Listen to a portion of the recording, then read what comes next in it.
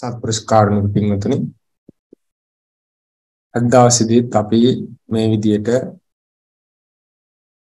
සතිපට්ඨාන භාවනා පුහුණුව සිද්ධ කරා. ඉතින් අපි උදේ කතා කරා ධම්මානුධම්ම ප්‍රතිපත්තිය පිළිබඳව සාකච්ඡා කරා.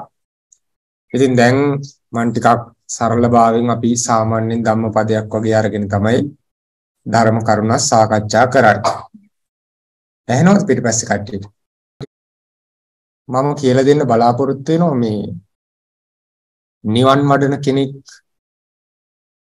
කොහොමද කටයුතු කරන්න ඕන? අප්‍රමාදීව කටයුතු කරන්න ඕන කොහොමද කියන එක පිළිබඳව ටිකක් කාරණා ටිකක් කියලා දෙන්න බලාපොරොත්තු වෙනවා. ඉතින් මේ ගාතාවක් තියෙනවා අප්පමත්තේසු අප්පමත්තෝ පමත්තේසු සුත්තේසු බහුජාගරෝ අබලස්සං වසීකස්සෝ හිත්වා යාති සුමේදසෝ කියලා. අප්‍රමාද වර්ගයේ තියෙන ගාතාව මොකද්ද? අප්පමත්තෝ පමත්තේසු. පළවෙනි එක තමයි අප්පමත්තෝ පමත්තේසු. දෙවෙනි එක සුත්තේසු බහුජාගරෝ. සුත්තේසු බහුජාගරෝ අබලස්සන්ව සීගස්සු. තුන්වෙනි ගාථාව මොකද්ද? අබලස්සන්ව සීගස්සු. හිත්වා යාති සුමේදසෝ. හිත්වා යාති සුමේදසෝ. හරිද? ලියාගත්තද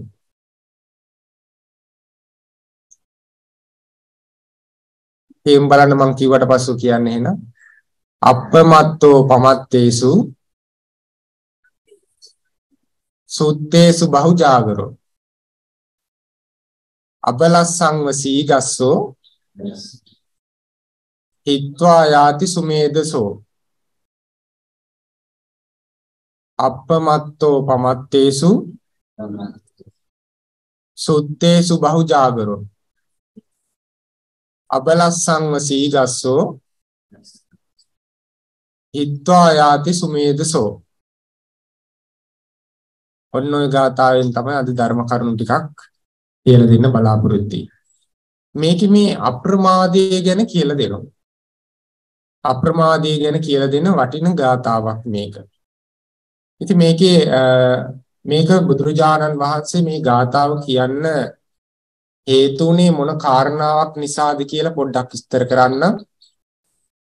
බුදුරජාණන් වහන්සේ සවැත් නුවර වාසය කරනකොට මේ එක ගිහියෝ දෙන්නෙක් ඇවිල්ලා බුදුරජාණන් වහන්සේගේ බණ අහලා පැහැදිලා මහාන වුණා. මහාන වෙලා ඉතින් උපසම්පදාත් වුණා.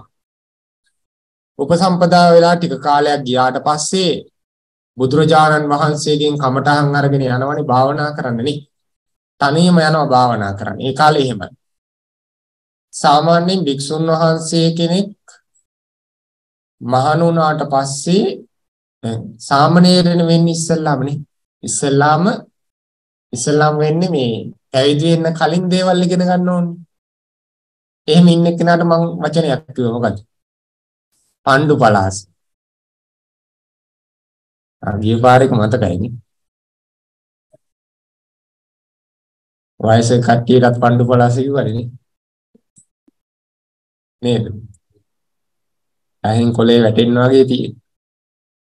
ඉතින් මේ පණ්ඩු පලාස කියලා කියන්නේ මේ පැවිදි වෙන්න කලින් පැවිද්දට අවශ්‍ය දේවල් පුරුදු වෙන එක. තේරුණාද? බෙඩ් සීට් වලින් තමයි එහෙම තමයි මේ සිවුරු පුරවන්න පුරුදු වෙන්නේ. නේද?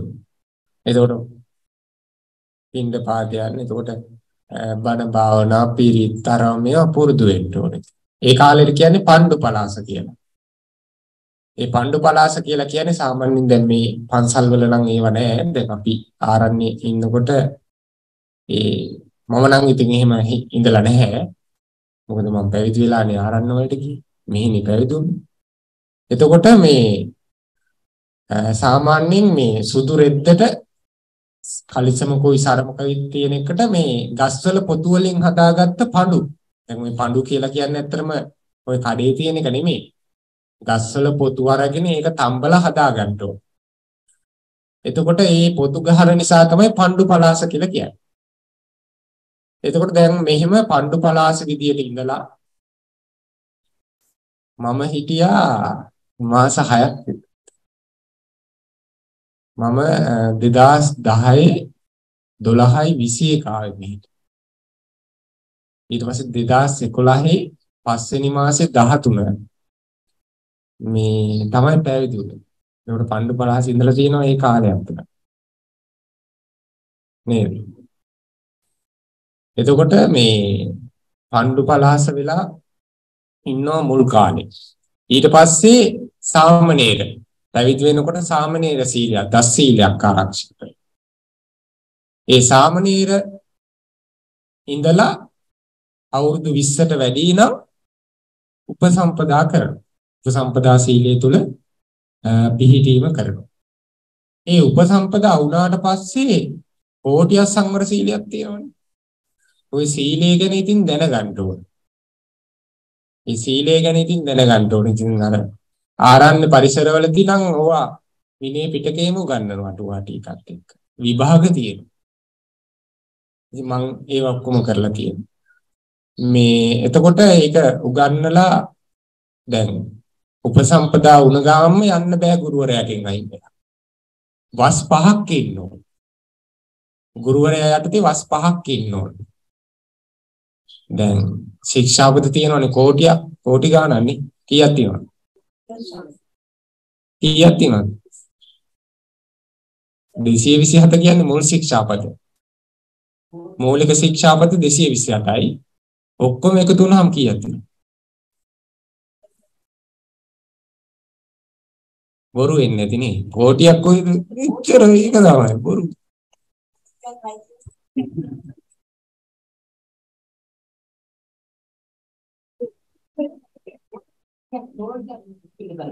ඒක තමයි. නවත්තලු මේ කෝටියක් කෝටියක් කියනවා මොකද කියලා. බලනකොට හොයාගෙන යද්දි තියෙනවා කීයද දන්නවද? 9180 කෝටි 50 ලක්ෂ 36000. විනය පිටකේ ශික්ෂාපද. භික්ෂුන් වහන්සේලාට මූලික ශික්ෂාපද 227යි භික්ඛුණීන් වහන්සේලාට 311යි. භික්ෂුණීන්ට වැඩි. භික්ෂුණීන්ට දැන් නම් භික්ෂුණී ශාසනයක් නැහැනේ. භික්ෂුණීන්ට සාමාන්‍යයෙන් ශික්ෂාපද වැඩි. එතකොට කීයක් තියෙනවද? කෝටි ගාන මතක තියාගන්න. 9180 කෝටි. 9180 කෝටි 50 ලක්ෂ 36000ක් තියෙනවා. දැන් කොහොමද අත්තම්ම ඉවරයි.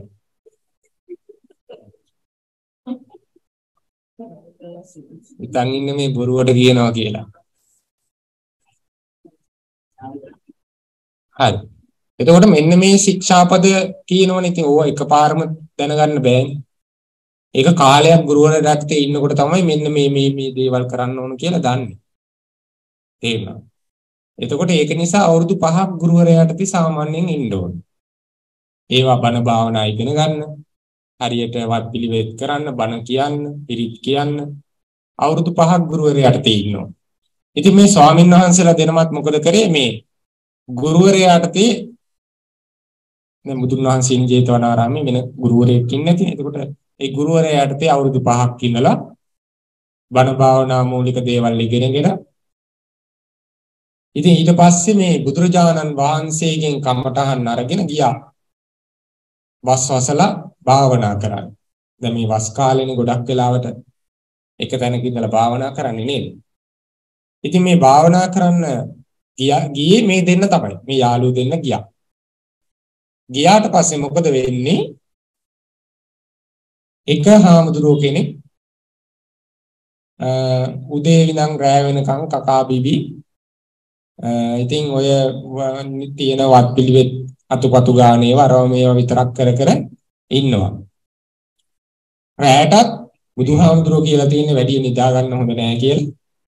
එයා ගිනිමල් මල් මලක් එහෙම ගහගෙන රැය වෙනකන් ඉඳලා ඊට පස්සේ නිදා ගන්න. ඉතින් දවසේ කරන්නේ යා වත් පිළිවෙත් කරන එකයි ඔය රැයට ඇහැරලා ඉන්නවා කියලා ගිනිමල ගහගෙන ඉන්න එකයි තමයි කරන්නේ. හැබැයි අනිත් ස්වාමීන් වහන්සේ මොකද කරන්නේ? අර වත් පිළිවෙත් ආදී පුළුවන් මට්ටමේ සාමාන්‍යයෙන් කරලා බණ භාවනා කරනවා. නිතරම ඉඳගෙන හිටගෙන හැම වෙලේම සතිපට්ඨානේ වඩනවා. භාවනා අරමුණකින් ඉන්නවා. සිහිය ගොඩනගන්න උත්සාහවත් වෙනවා. ඉතින් මේ ස්වාමීන් වහන්සේ උදේ ඉඳලා රෑ වෙනකම්ම භාවනා කරනවා. මේ මේ ස්වාමීන් වහන්සේ දැන් භාවනා කරලා නිදාගන්න යද්දි අරහාමුදුරෝ කියනවා බුදුහාමුදුරෝ ඉන්න කාලෙම කමටහන් අරගෙන නිදාගන්න එනවා. යන්න යන්න ගිහිල්ලා භාවනා කරන්න කියලා යවනවා. මෙයා හොඳට නිදා ගන්නවා අරහාමුදුරන්ට භාවනා කරන්න. ඉතින් එයා හාමුදුරුවෝ ඉතින් භාවනා කරනවා. ඉතින් යම් තරමකට නිදා ගන්නවා. කොහොම වාසය කරා. කොහොම වාසය කරලා කොහොම හරි දැන් අර හාමුදුරුවෝ කවදාවත් බණ භාවනා කරන්නේ නැහැ මේ වස් කාලය තුලම නිකන් ඔහේ ගිනිමල් දාගෙන ගිනි තප තප නිදිමරවර ඉඳලා නිකන් ඔය අතුපතු ගන්න වැඩක් විතරක් කරලා කාලා බීලා නිදාගෙන ඉතින් ඉන්නවා. එයා හිතන්නේ මේ මේ බුදුරජාණන් වහන්සේ මේ නැගිටලා විතරක් නිකන් ඉන්න කිව්වා කියලා. ඉතින් අර භික්ෂුවට මෙයා අවවාද කරනවා. මේ බුදුරජාණන් වහන්සේ ළඟම කමටහන් අරගෙන මේ නිදිය ගන්න එපා ප්‍රමාද වෙන්න එපා. මේ සසර හරිම දුකයි. ඒක නිසා අප්‍රමාදීව බණ භාවනා කරන්න කියලා කියනවා. ඉතින් අරහමුදුරුත් හිතන දකින්න මෙයා මේ මුකුත් කරන්නේ මට අවවාද කරනවා කියලා. නමුත් එයා හිතනවා ඉතින් මෙහෙම අවවාද කරන කෙනෙක් ඉන්නක ලොකු දෙයක්. කියලා අර ස්වාමීන් වහන්සේ ඉතින් බණ භාවනා කරනවා. ඉතින් මෙහෙම භාවනා කරලා භාවනා කරලා අන්තිමට වස් ඉවරලා වස් පවාරණය කරලා මේ ස්වාමීන් වහන්සේලා දෙනම බුදුරජාණන් වහන්සේ හම්බෙන්න ගියා. බුදුරජාණන් වහන්සේ හම්බෙන්න ගිහිල්ලා බුදුරජාණන් වහන්සේට කිව්වා මේ ගිහිල්ලා වන්දනා කරලා ඉන්නකොට මේ බුදුරජාණන් වහන්සේ ආව කොහොමද වස් කාලේ හොඳට ගත කරාද? ඔව් ස්වාමීන් වහන්සේ කිසිම කරදරයක් වුණේ නැහැ දානමාන හොඳට තිබ්බා අපි හොඳට හිටියා. අප්‍රමාදීව කටයුතු කරා. අර නිදාගත්ත හාමුදුරුවෝ කියනවා අනේ ස්වාමීනි මේ මේ හාමුදුරුවෝ ගැන මොන කතා කරනවද? මේ මෙයා නිතරම නිදාගන්න එක විතරයි කරන්නේ. ඈ මම නම් හැමදාම රෑ වෙනකන් ගිනි මැල් පත්තු කරගෙන ඇහැරලාම හිටියා. නිදාගත්තේ පොඩ්ඩයි. ඈ හැමදාම මොන මොන හරි වැඩ කර කර හිටියා. මේ හාමුදුරුවෝ නම් නිකන් පැත්තකට වෙලා හිටියා. කියලා කියනවා. ඊට පස්සේ බුදුරජාණන් වහන්සේ කියනවා භික්ෂුව මේ හාමුදුරුවෝ රහත් වෙලා ඉන්නේ. ඔයා තමයි ප්‍රමාදව වාසය කරේ. ඔයා ඇහැරිලා හිටියට කෙලස් නින්දෙන් නිදාගෙන හිටියේ. හැබැයි මේ හාමුදුරුවෝ කෙලස් නින්දෙන් නිදාගත්තේ නැහැ. නිතරම කෙලස් තවන වීරයෙන් කටයුතු කරා. නිදි වර්ජිතව කටයුතු කරලා කොහොම හරි කෙලස් වලින් මිදුණා. ඔය හාමුදුරුවෝ කිසි දෙයක් කරගෙන නැහැනේ කියලා කිව්වා. අන්න ඒ වෙලාවේ තමයි බුදුන් වහන්සේ මේ ගාථාව කිව්වේ. අප්පමත්තෝ පමත්තේසු.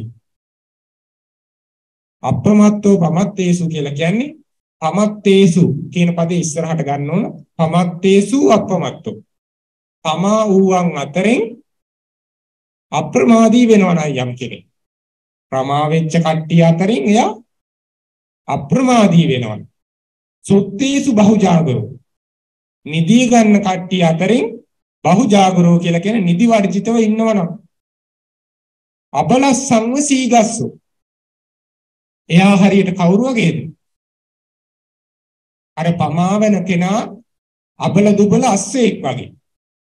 ඒ අශ්වයා පහු කරගෙන යන වේගවත් අශ්වයෙක් වගේ අර අප්‍රමාදී කෙනා. හිත්වා යාති සුමේසෝ. එයා ප්‍රඥාව දිනු කරලා මොකද කරන්නේ? මේ සංසාරයෙන් එතර කර එතර වෙනවා.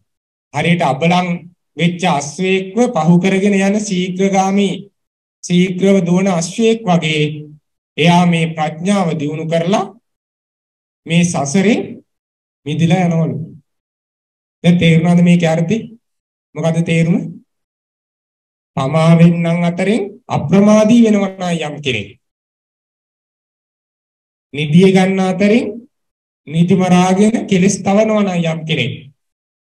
එයා හරියට අපලං උබල අශ්වයෙක්ව පහු කරගෙන යන සීග්ග අශ්වයෙක් වගේ එයා මේ සංසාරේ දුරු කරලා ප්‍රඥාව දියුණු කරලා මේ සංසාරය හැරදාලා යනවා. හිත්වා කියලා කියන්නේ හැරදාලා යනවා. සුමේද කියලා කියන්නේ ප්‍රඥාව දියුණු කරගත්ත කෙනා. හරිද? එතකොට මොකද්ද මේ ප්‍රමාදේ නැත්තම් අප්‍රමාදේ කියලා කියන්නේ? පමා වෙනවා කියන්නේ මොකද්ද? පමා වෙනවා කියලා කියන්නේ මොකද්ද? මේ වැඩසටහනට එන්න පරක් වෙන එකද? බුද්ධ ශාසනයේ අප්‍රමාදේ කියන්නේ මොකද්ද? පමාදේ කියන්නේ මොකද්ද? දාර බුදුරජාන් වහන්සේ හැමදාම භික්ෂුන් වහන්සේලාට කියන වචනයක් තියෙනවා. මොකද්ද? අප්‍රමාදේන භික්කවේ සම්පාදේත. දුර්ලභෝ බුද්ධුපාදෝ ලෝකස්මින්. දුර්ලභෝ manussත්ත්ව පටිලාභෝ. දුර්ලභාකන සම්පatti. දුර්ලභා පබ්බජ්ජා. දුර්ලභං සද්ධම්ම සවණං. දුර්ලභෝ සත්පුරිෂ සංසේවෝ. ආරබත නික්කමත යුඤ්ජත බුද්ධ ශාසනේ දුනාච මච්චුනෝ සේනං නලාගාරංව කුංජරෝ යෝයිමස්මින් ධම්ම විනේ අපමත්තෝ විහෙස්සති පහය ಜಾති සංසාරං දුක්ඛසන්තං කරිසති එතන කිව්වා නේද අප්‍රමාදේන වික්කවේ සම්පාදේත මහණෙනි අප්‍රමාදීව මේක සම්පාදනය කරගන්න මේ බුදුරජාණන් වහන්සේ කෙනෙක් ලෝකෙට බිහි වෙන එක දුර්ලභයි. උද්දුප්පාදෝ දුර්ලභෝ ලෝකස්මින් කිව්වේ ඒකයි. බුදුරජාණන් වහන්සේ කෙනෙක් ලෝකෙට බිහි වෙන එක හරිම දුර්ලභයි. දැන් මේ කල්පෙනේ ඔය එක කල්පයක බුදුරජාණන් වහන්සේලා හතර නමක් බිහි වෙන්නේ. හැබැයි වෙන කල්පවල එහෙම නැහැ. එක බුදුරජාණන් වහන්සේ සමහරක් වුණා. සමහරක් කල්පවල බුදුරජාණන් වහන්සේ කෙනෙක් හොයන්නවත් නැහැ. සමහරක් වෙලාවට බුදුරජාණන් වහන්සේලා ඉපදෙලා අපි නිරේ අපි പ്രേතය වෙලා තිරිසන් සත්තු වෙලා වැඩක් නැහැ. අසංඤ සත්වල ඉපදිලා මිත්‍යා දෘෂ්ටි තැන්වල ඉපදිලා අංග විකල මන්ද බුද්ධික වෙලා ඉපදිලා ඒක නිසා මේ බුද්ධෝත්පාද කාලයක් ලැබෙනවා කියන එක හරීම දුර්ලභයි. බුදුහාමුදුරුවෝ ඉන්න කාලේ අපි මොනවා කරාද දන්නේ නැහැ. ඈ? හිටියේ නැතුව ඇති. නැති නේද? එච්චර ඇවිල්ලා තියෙන්නේ. ඇයි ඉන්නේ නැති. ඉතින් පුළුවන් විදියට පිළිවෙත් පුරන්නේ නැති මොනවාරි එහෙම නැතුව ඉතින් මේකට කැමැත්තක් ඇති වෙලා මෙහෙම වෙන්නේ නැහැ නේද? ඔව්. ඔව්. තිරිසන් වෙලා මොන හරි දානයක්වත් දුන්නත් දන්නේ නැහැ මෙහෙම වෙන්නේ නේද? ඈ? ඉතින් කොහොම කොහොම හරි. ඉතින් නමුත් බුදුරජාණන් වහන්සේ කෙනෙක් ලෝකෙට බිහි වෙන එක හරිම දුර්ලභයි. බුද්ධෝත්පාදෝ දුර්ලභෝ ලෝකස්මි. manussත්ත්ව පටිලාභෝ දුර්ලභ. මනුෂ්‍ය භාවයක් ලබන එකත් ඊටත් වඩා දුර්ලභයි. ඇයි manussත්වයේ දුර්ලභ? කොහොමද මනුෂ්‍යත්වයේ දුර්ලභ වෙන්නේ? ඈ මේ මනුෂ්‍ය භාවයක් ලැබෙන්න අනිවාර්යයෙන්ම පංචශීලී ආරක්ෂා කරපු කෙනෙක් වෙන්න ඕන. දස කුසල් රැස් කරපු කෙනෙක් වෙන්න ඕන. නේද? පංචශීල ආරක්ෂා කරගත්ත කෙනෙක් සීලවන්ත කෙනෙක්ට තමයි මනුස්ස වෙන්න පුළුවන්. දැන් දන් දුන්න විතරක් මදි. දන් දුන්නොත් මිනිස්සෙක් වුණොත් හොඳට කන්න බොන්න ලැබේ. දැන් අර තියෙනවනේ එකක් එක්කෙනෙක් දන් හොඳට දෙනවා. හැබැයි පංචශීලයේ කැඩලා. එයා තිරිසන් සතෙක් වෙනවා. හැබැයි හොඳට කන්න බොන්න හම් වෙනවා. පෙත් ඉන්නවනේ බලු දෙන්න. පුදුම සැපදී. ඈ හොඳට කන්න බොන්න තියෙන ඉන්න තියෙන. හැබැයි උන්ට මනුස්ස ජීවිතයක් ලැබුණේ නෑ. හැබැයි සමහරුන් ඉන්නවා මනුස්ස ලෝකේ ඉපදිලා කන්න බොන්න නෑ. ඒ කට්ටිය කොහොමද? පන්සිල් ආරක්ෂා කරලා තියෙනවා. සිල් ආරක්ෂා කරලා හැබැයි දන් දීලා නෑ. මේ සමහරුත් ඉන්නවා දනුත් දීලා සිලුත් ආරක්ෂා කරනවා. හොඳට කන්න බොන්න කොහොමද තියෙනවා ලියනගේ මහත්මිය වගේ මනුස්සත් වෙලා ඉතින් ඔය ඉන්නවා ඉතින්. නේද? ඒ දෙකම තියෙන්න ඕනේ. එතකොට මේ manussත්ම භාවයක් ලැබෙනවා කියන එක හරිම දුර්ලභයි. නිකන් හිතන්නකෝ දැන්. දැන් මේ කාලේ වගේ මිනිස්සෙක් වෙන්න බඩක් හොයාගන්න එක හරි අමාරුයි. මව්කුසක් නේද? අම්මලා දරුවෝ එක්කෙනෙක් දෙන්නේ නේ හදන්නේ. මම කියලා තියෙනවද දන්නේ අපේ තාත්තගේ පවුල් තාත්තගේ සහෝදරයෝ 14යි. අම්මගේ 7යි. කොහොමද?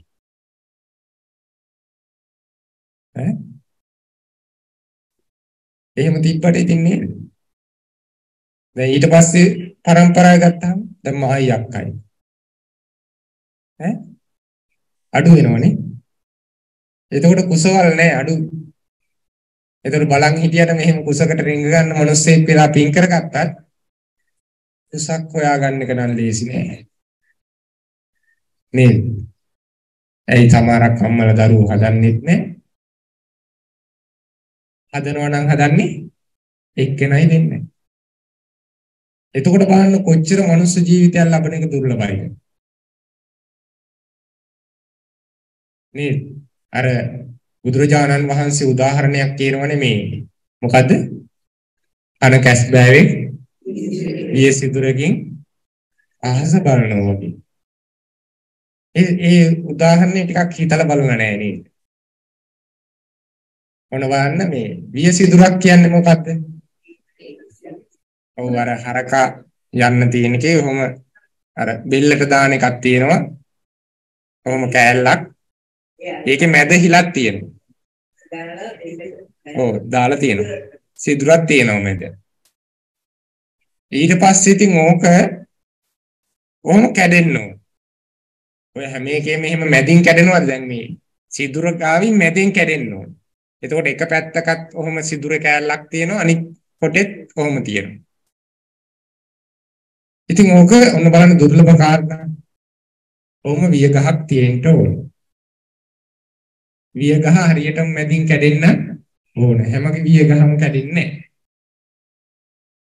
ඒ කැඩුනට පස්සේ ඕක ගහගෙන යන්න ඕන මුහුදට යනකම්. දෙකම යන්න එපා. ඔව්. දැන් ඒක එක එකක් දරට හරි ලිපට හරි මොකකට හරි ගත්තා කියන්නේ එකයිනේ. එතකොටත් බෑ. ඔය දෙකම යන්න ඕනේ. ඒකත් දුර්ලභයි.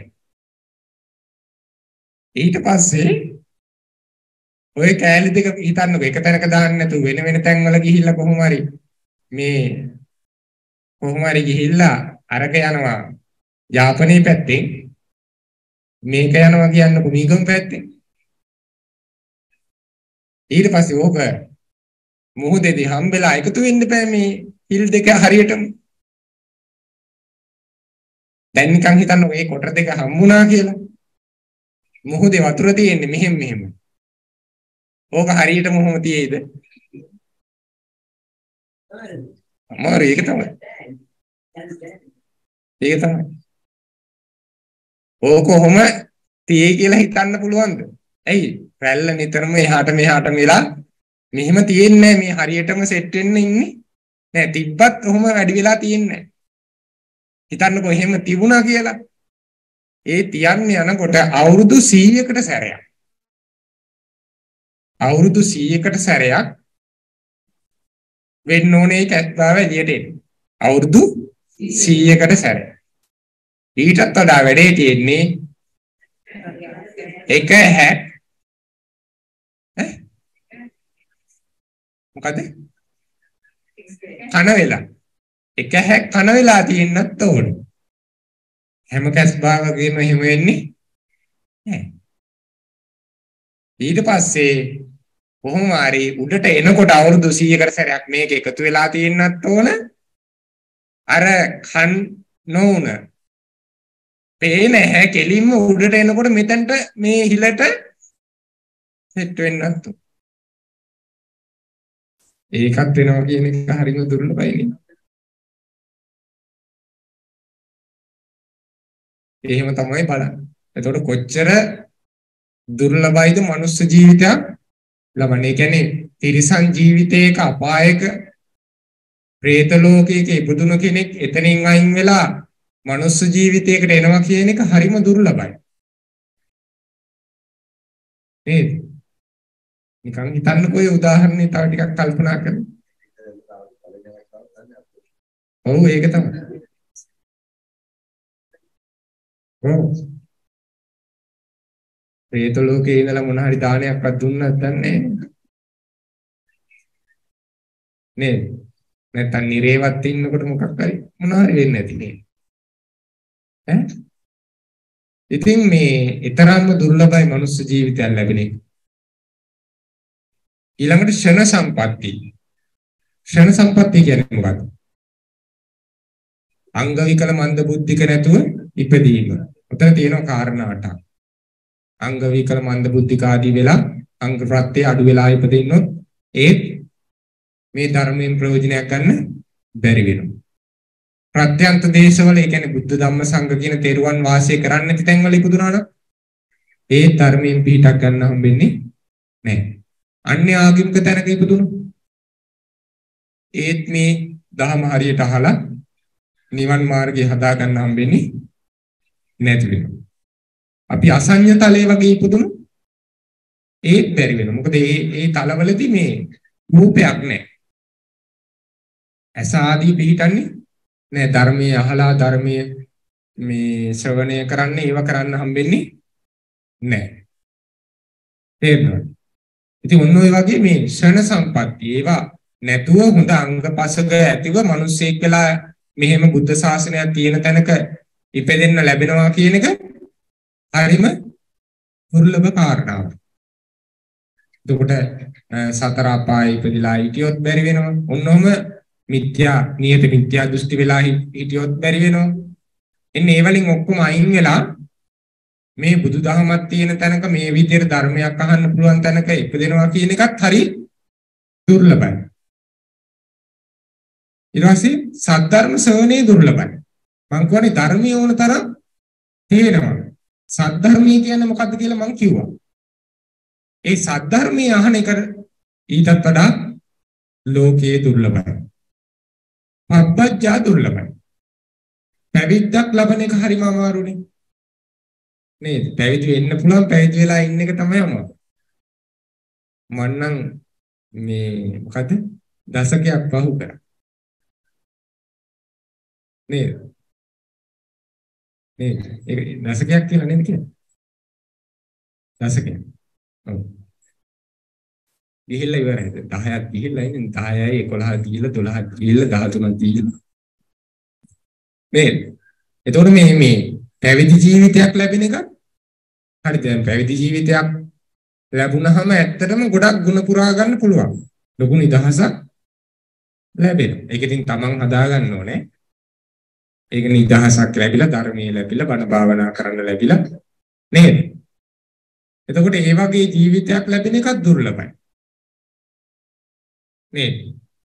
බුද්ධෝත්පාදෝ දුර්ලභෝ ලෝකස්මින් manussත්ත්ව පටිලාභෝ දුර්ලභාකන සම්පatti දුර්ලභා පබ්බජ්ජා දුර්ලභං සද්ධම්ම සවණං දුර්ලභෝ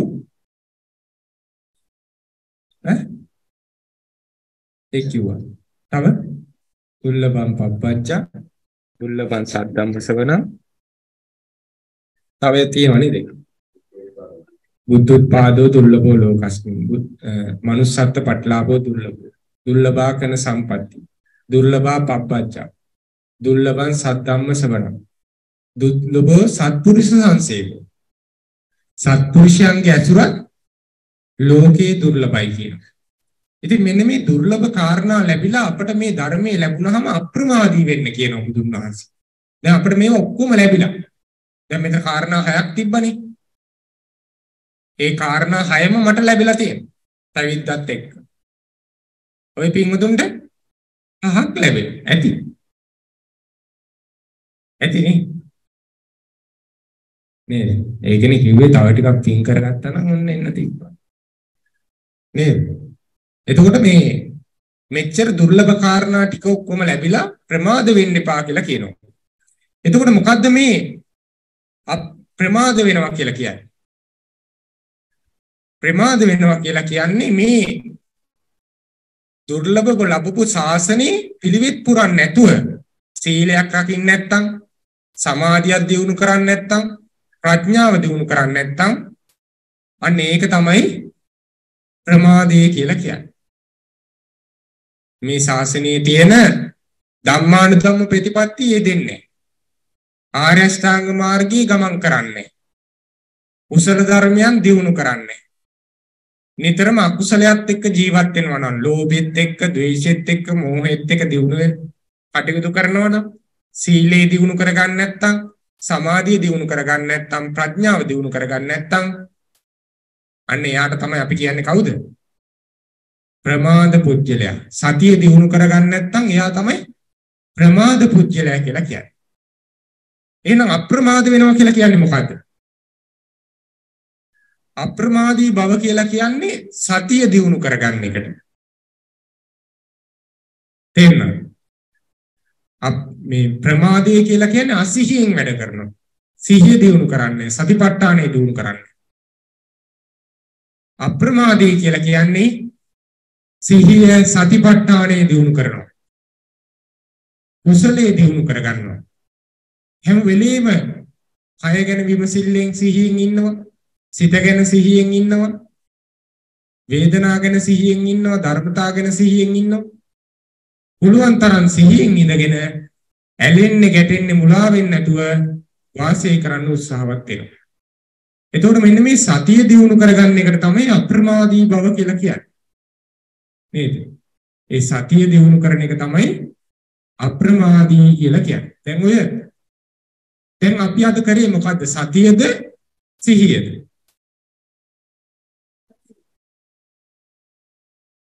තාම සතිය දිනු වෙලා නැහැ. දැන් මේ සිහිය දිනු කරන්න. යනකොට එනකොට සිහිය දිනු කරනවා. ඒ සිහිය දිනු වෙනකොට තමයි සතියකටපත් වෙන්නේ. සතියටපත් වෙනවා සතිපට්ඨාන තුල පිහිටනවා කියන්නේ මොකද්ද? දේවල් කෙරෙහි ඇලෙන්න ගැටෙන්න නැතුව ඉන්න පුළුවන් මනසක් හැදුනහම තමයි සතිය දිනු වුණා කියලා කියන්නේ. දැන් සතිය දිනු වෙන්න සිහියෙන් ඉන්න පුරුදු කරගන්න. සිහියෙන් කය ගැන බලන් ඉන්නවා. සිහියෙන් සිත ගැන බලන් ඉන්නවා. සිතුවිලි ගැන බලන් ඉන්නවා. වේදනා ගැන බලන් ඉන්නවා. අන්න ඒක තමයි සතිය කියලා කියන්නේ. මේ සිහිය කියලා කියන්නේ. ඒක හොඳට දියුණු වෙනකොට තමයි සතියටපත් වෙන්නේ. සතිය කියලා කියන්නේ කිසි දෙයක් කෙරෙහි ඇලෙන්නේ ගැටෙන්නේ නැතුව වාසය කරනවා. දැන් අපි අර සතිපට්ඨාන සූත්‍රයේදී අන්තිමට කියනවනේ. කායේ කායානුපස්සී විහෙරති. ආතාපි සම්පජානෝ සතිමා විනෙය්‍ය ලෝකේ අභිජ්ජා දෝමනස්ස. අර කය කය විදියට බලාගෙන බලාගෙන යනවා. ඒක තමයි සිහිය. මේ කය දිහා බලාගෙන යනවා. සිත දිහා බලාගෙන ඉන්නවා වේදනා දිහා බලාගෙන ඉන්නවා එනකොටම දකින්න අන්න සිහිය ඕක බලාගෙන ඉන්නකොට ඉන්නකොට වර්තමානයේ සිත තියන්න පුරුදු කරනකොට පුරුදු වෙනකොට අන්න පස්සේ ඇති වෙනව මොකද්ද ආතාපි සම්පජානෝ සතිමා. වීරයෙන් යුතුව බලන් ඉන්නෝ. නුවණෙන් බලන් ඉන්නෝ. සිහියෙන් බලන් ඉන්නකොට මොකද වෙන්නේ? විනය්‍ය ලෝකේ අභිජ්ජා දෝමනස්ස. අභිජ්ජාව කියන්නේ ඇලීම, දෝමනස්සං කියන්නේ ගැටීම තොර වෙනවා. අන්න ඒක තමයි සතිය පිහිටුවා කියලා කියන්නේ. පිහිටනවා කියලා කියන්නේ. දැන් අපි මේ සිහියෙන් ඉන්නකොට ඉන්නකොට ඉන්නකොට මේ දිහා බලන් ඉන්නකොට අපට සිහිය නුවණ දියුණු වෙනවා. සිහිය නුවණ දියුණු වෙනකොට මොකද වෙන්නේ? අර සිතුවිල්ලක් ආවම ඉස්සර වගේ ඇලෙන්න ගැටෙන්නේ මනස. වේදනාවක් ආපුවම ඒක වේදනාවක් කියලා විතරක් දකිනවා. ඇලෙන්නේ ගැටෙන්නේ කයේ දිගක් ඇති වෙනකොට කයේ ස්වභාවයක් කියලා විතරක් දකිනවා. ඒක ඇලෙන්න ගැටෙන්නේ ධර්මතා ධර්මතා විදියට දක්නවා ඇලෙන්න ගැටෙන්නේ. අන්න ඒක තමයි සතිය අන්තිමට සිද්ධ වෙන්නේ. අන්න ඒකට තමයි මොකද්ද කියන්නේ? අප්‍රමාදී වෙනවා කියලා. සතියකටපත් වෙනකොට තමයි අප්‍රමාදී වෙනවා. අප්‍රමාදී කියලා කියන්නේ දේවල් කෙරෙහි ඇලෙන්න ගැටෙන්නේ නැතුව ඉන්නවා ඒව අල්ලගන්නේ ගැටෙන්නේ ඇලෙන්නේ ඇලෙන්නේ ගැටෙන්නේ නැහැ කියලා කියන්නේ මොකද වෙන්නේ? කර්ම සකස් වෙන්නේ කර්ම සකස් වෙන්නේ නැත්තම් මොකද වෙන්නේ? නැවත උප්පත්තියක් සකස් වෙන්නේ නැහැ. නැවත ඉපදුනේ නැත්තම් ජරා දුකක්, ලෙඩ දුකක්, මරණ දුකක්, අප්‍රිය දේවල් ලැබීමේ දුකක්, ප්‍රිය දේවල් නැතිවීමේ දුකක් කියන මේ දුක් ඔක්කොම සංසිඳලා යනවා. නේද? නැත්තම් අපි හැම වෙලේම මොකද කරන්නේ මේ? සිතුවිල්ලක් ආවත් ඇලෙනවා ගැටෙනවා, වේදනාවක් ආවත් ඇලෙනවා ගැටෙනවා. නේද? පෙනීමක් වුණත්, ඇහිීමක් වුණත්, සුවඳක් වුණත්, රසයක් වුණත්, ස්පර්ශයක් වුණත් අපි තාම ඇලෙනවා ගැටෙනවා. ඒ කියන්නේ මොකද්ද? ඇලෙනවා ගැටෙනවා කියලා කියන්නේ කර්ම සකස් කරගන්නවා. තණ්හාව දියුණු වෙනවා. ලෝභය දියුණු වෙනවා. ද්වේෂය දියුණු වෙනවා. මෝහය දියුණු වෙනවා. ඒ තුලින් මොකද වෙන්නේ? කර්ම සකස් වෙනවා. කර්ම සකස් වුණාම මොකද වෙන්නේ? උප්පත්ති විඥාන ඇති වෙනවා. ඉපදෙන්න අවශ්‍ය හේතු සකස් වෙනවා. ඊට පස්සේ මොකද වෙන්නේ? නැවත ඉපදෙනවා. ඉපදුණු සත්‍යයයින් දුකටපත් වෙන්න වෙනවා.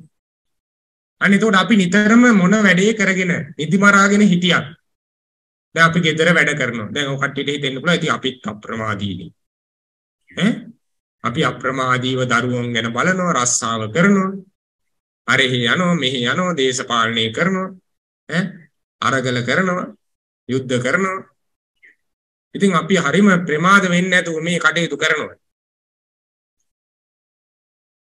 ඒ දේවල් වලදී ඇයි මේ ප්‍රමාද වෙනවා කියලා කියන්නේ? අපි කර්ම සකස් කරගන්නව නම් නිතරම ඒව තුලින්.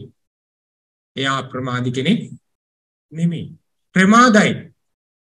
එයා කෙලෙස් එක්ක ජීවත් වෙන්නේ. එයා නැවත නැවත මේ එයා මෙච්චර දුක් විඳට ඈ දරුවෝ හදන්න, ගෙවල් දොරවල් හදන්න, යාන වාහන හදන්න මේ ජීවත් වෙනකොට එයා කෙලෙස් එක්ක නම් මේ දුක් විඳින්නේ වීරය කරන්නේ. එයා මොන දේ කරත් වැඩන්නේ එයා නැවත ඉපදිලා ඒ වැඩ කරන්න ආයෙත් පටන් ගන්නවා. නැවත දුකම තමයි මේ හදන්නේ. දුකම තමයි මේ මහන්සි වෙලා ගොඩනගන්නේ. මේ දිනු කරන්නේ මොනවද? තණ්හාව, අවිද්‍යාව, ලෝභය, ද්වේෂය, මෝහය.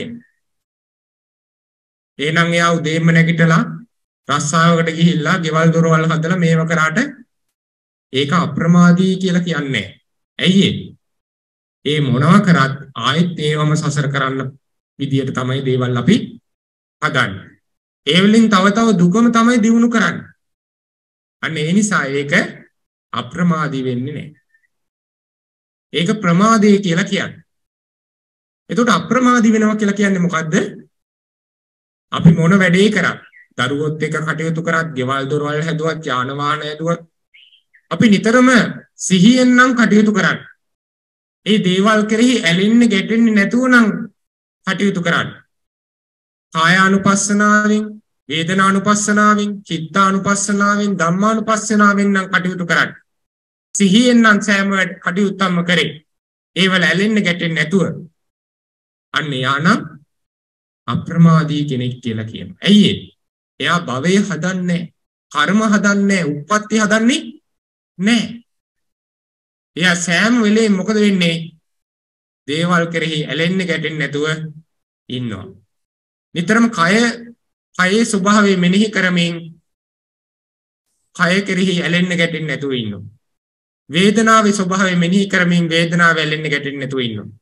සිතේ ස්වභාවය මෙනෙහි කරමින් සිතත් එක්ක ඇලෙන්න ගැටෙන්නේ නැතුව ඉන්නවා.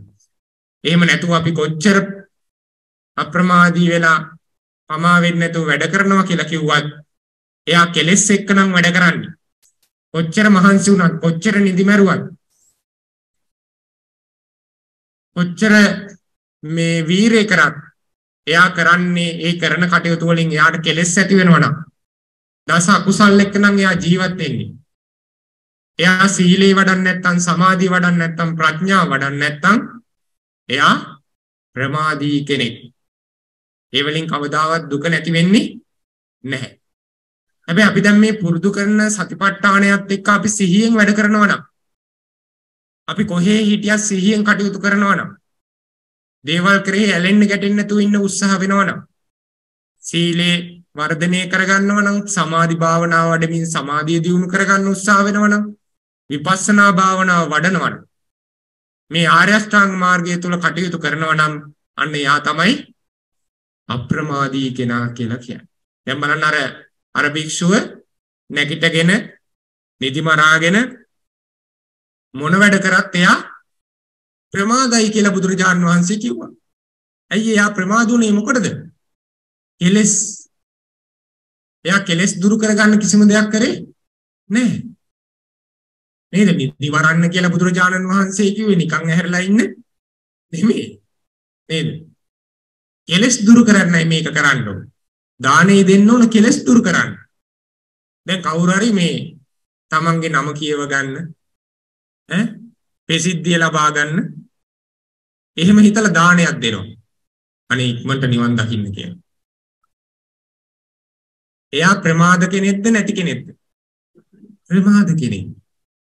යම් කෙනෙක් මේ වැඩසටහනට එනවා මේ පිට භාවනා වැඩසටහනකට යන කට්ටිය එහෙම කියන්නේ. ඈ අපි බණ භාවනා කරන කට්ටිය කියලා කියන්නේ. ඈ මෙතනට ඇවිල්ලත් එයා ගෙවල් ගැන තමයි හිතන්නේ. නේද? තාත් එක්ක හරි අල්ලගෙන කතා කරන්න තමයි බලන්නේ. නේද? ආමුදුර පොඩ්ඩක් එහාට මෙහාට වෙනකන් තමයි බලන් ඉන්නේ.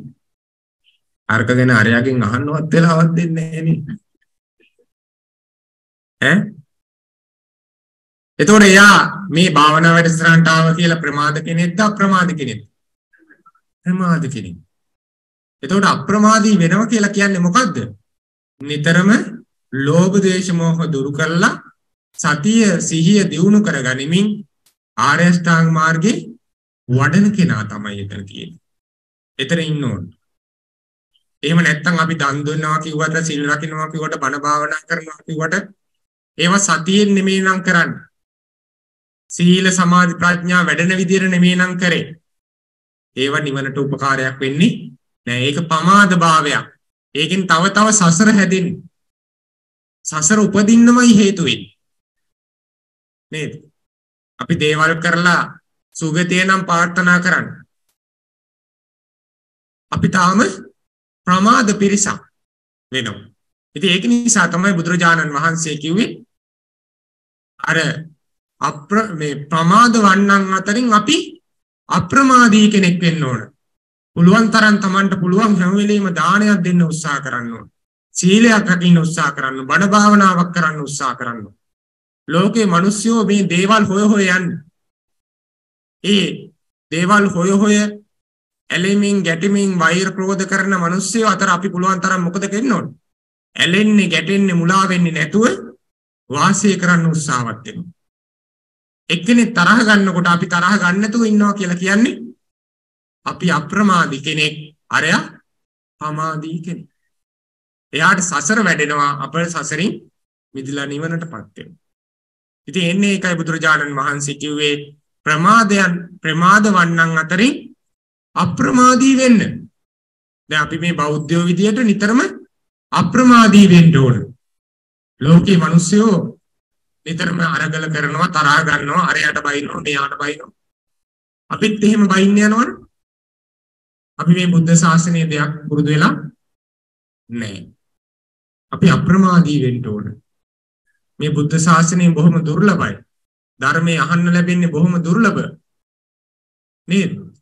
එහෙම දැකලා අපි මොකද වෙන්න ඕන? පුළුවන් තරම් කුසල ධර්මයේ දියුණු කරන්න උත්සාහවත් වෙන්න ඕන. අන්න ඒක තමයි ප්‍රමාද වෙන්නන් අතරින් අපි අප්‍රමාදී වෙනවා කියලා කියන්නේ. මොනවා හරි කුසලයක් දියුණු කරන්න බලන්න. මොන වැඩේ කරත් කමන්නේ මේ දේවල් සිහියෙන් කරන්න උත්සාහවත් වෙන්න ඕන. ඒ දේවල් කෙරෙහි ඇලෙන්න ගැටෙන්න නැතුව යථා ස්වභාවයේ දකිමින් ජීවත් වෙන්න උත්සාහ කරන්න ඕන. අන්න ඒක තමයි මෙතනදී පමාවන්නන් අතරින් අප්‍රමාදී වෙනවා කියලා කියන්නේ. ඊට පස්සේ කියනවා සුත්තේසු බහුජාගරෝ. නිදිය ගන්න කට්ටිය අතරින් නිදි වර්ජිත කෙනෙක් වෙන්න ඕන. මෙතනදි මේ කියන්නේ නිදිය ගන්නවා කියලා කියන්නේ කෙලස් එක්ක වාසය කරනවා නම් යම් කෙනෙක්. එයා නිදියගෙන ඉන්නේ. එයා අවුරුදු 100ක් ජීවත් වුණා 1000ක් ජීවත් වුණා එයාගේ ජීවිතේ වැඩන්නේ නැහැ. එයා නිකන් කෙලස් එක්කම වාසය කරේ. කෙලස් එක්ක ජීවත් වුණා. අලුත් දෙයක් දිනු කරලා නැහැ. එහෙම නැතුව යම් කෙනෙක් සක්මන් කරමින් ඉඳගනිමින් මුළු දවසම මේ කායානුපස්සනාව, වේදනානුපස්සනාව, චිත්තානුපස්සනාව, ධම්මානුපස්සනාව වඩමින් සිහිය දිනු කරනවා නම් නිදිවර්ජිතව මේ භාවනාවේ යෙදෙනවා නම් අපි ඒකට තමයි කියන්නේ මොකද්ද? ජාග ජාගරියාන යෝගය.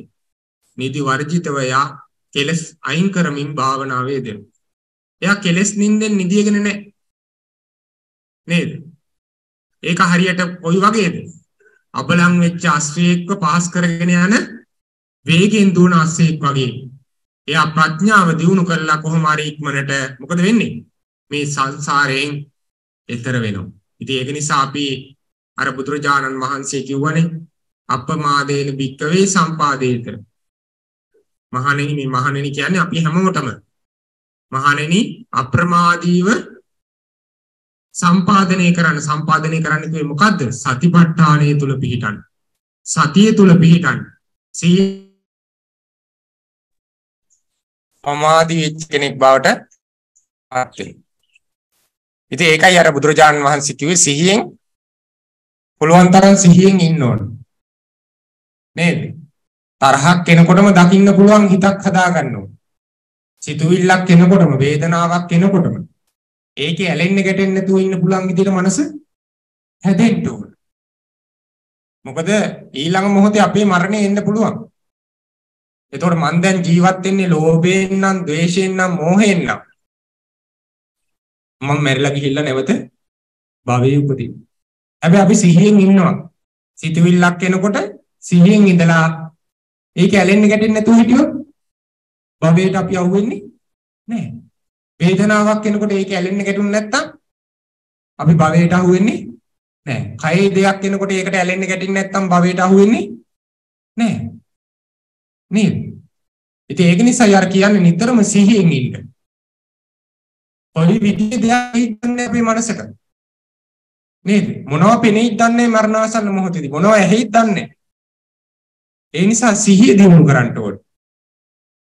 සිහියෙන් මේ දේවල් කෙරෙහි ඇලෙන්න ගැටෙන්න නැතුව ඉන්න පුරුදු කරගන්න ඕනේ. දැන් ඉඳලම. අන්න ඒ වගේ කෙනෙක්ට තමයි මේ සසරෙන් මිදෙන්න පුළුවන් වෙන්නේ.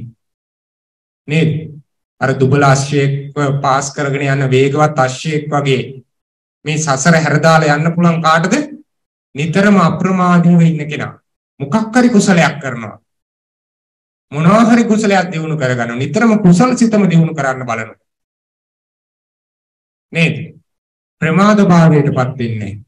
තරහක් එනකොට මේක හිතනවා මේ සසර දුක දැකලා මේ තරහ කියන්නේ සිතුවිල්ල.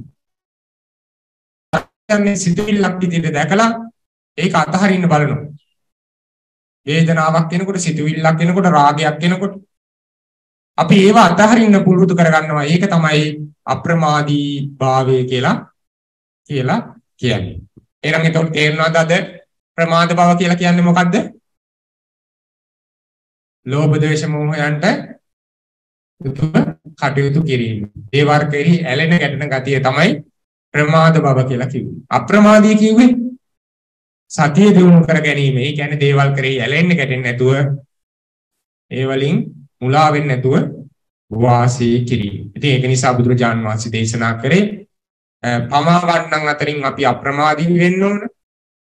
කෙලස් නින්දෙන් නිදිය ගන්න අතරින් නිදිය ගන්න නැති කෙලස් නින්දෙන් නිදිය ගන්න නැති කෙනෙක් වෙන්න ඕන. හරියට වේගයෙන් ගමන් කරන දුබල අශ්වය අතහැරලා වේගයෙන් ගමන් කරන අශ්වයෙක් වගේ අපි මේ සසරෙන් මිදෙන්න ඕන කියලා තමයි බුදුරජාණන් වහන්සේ දේශනා කරන්නට යෙදුනේ. හොඳයි. හොඳයි එහෙනම් අපි අද දවසේදී උදේ ඉඳලා මේ වෙනකන් ධර්ම සාකච්ඡා කරමින් බණ භාවනා කරමින් නොඑක ආකාරයෙන් අප්‍රමාදයෙන් කුසල් සිත දියුණු කරන්න උත්සාහවත් වුණා. සතිය දියුණු කරන්න උත්සාහවත් වුණා. ඉතින් මේ රැස් කරගත්තා ගත්තේ ලෝකයේ තියෙන අප්‍රමාදීම කුසලයේ. අප්‍රමාණම කුසලයේ තමයි සතිපට්ඨානය දියුණු කිරීම කියලා කියන්නේ. එක මොහොතක් හරි වඩන සතිය සිහිය ඔය දෙන සෑම දානයකටම වඩා සීලයකටම වඩා ආනිසංස වැඩි. එක මොහොතක් කරන භාවනාවෙන් ලැබෙන ආනිසංස කවදාවත් දාන සීලයකට සමාන කරන්න බෑ අප්‍රමාණයි. දාණයෙන් ලැබෙන කුසලයේ අප්‍රමාණයි සෑම කුසලයකටම වඩා. ඉතින් ඒක නිසා අද දවසේදී අපි දාන සීල භාවනා වශයෙන් විශාල කුසලයක් රැස් කරගත්තා. ආර්ය අෂ්ටාංග මාර්ගය සම්පූර්ණ කරන්න උත්සාහවත් වුණා. සතිපට්ඨානය දියුණු කරගත්තා. ඉතින් මේ රැස් කරගත්තා වූ සීල කුසලයේ අපි සෑම දිනාටම නිවන් පිණසම හේතු වාසනා වේවා කියලා අපි ප්‍රාර්ථනා කරගමු. ඒ වගේ